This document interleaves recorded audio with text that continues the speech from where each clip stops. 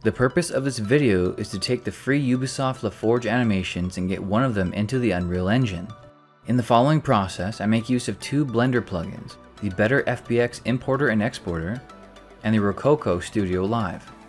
Open a fresh Blender scene, delete the default objects, change the frame rate to 30 FPS, import one of the Ubisoft animations using Blender's default motion capture BVH option. Make sure to change the scale to 0.01.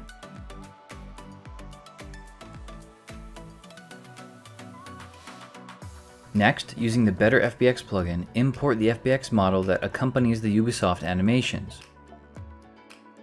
With the model and the animation in the scene, the goal now is to retarget the animation to the model.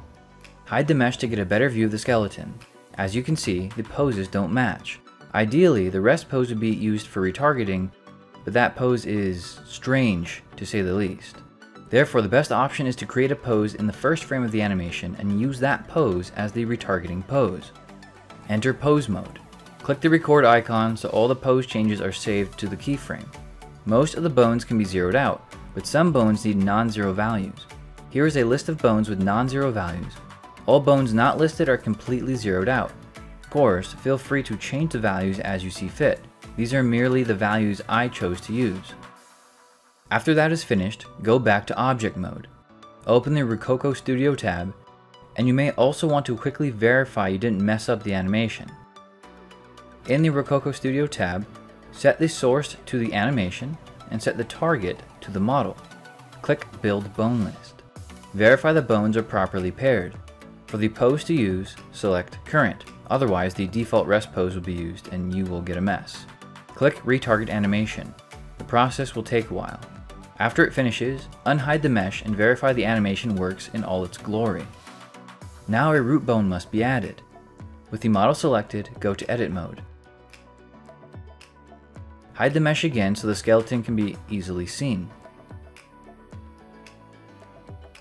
Go to Add Single Bone. Scale the bone down just so it's not in the way. Rename the bone to Root.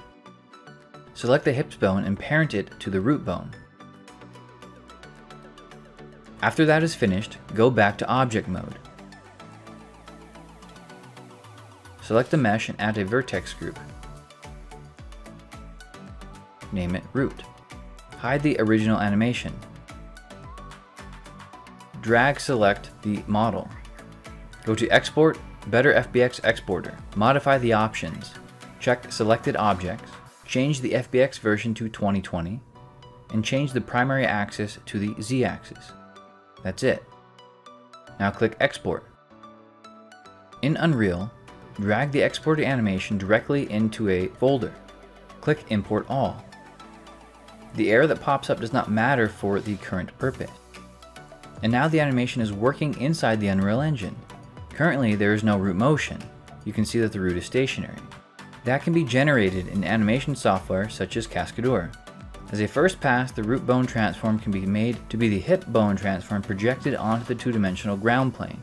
Further edits should be made after that initial pass, but that process is not covered in this video.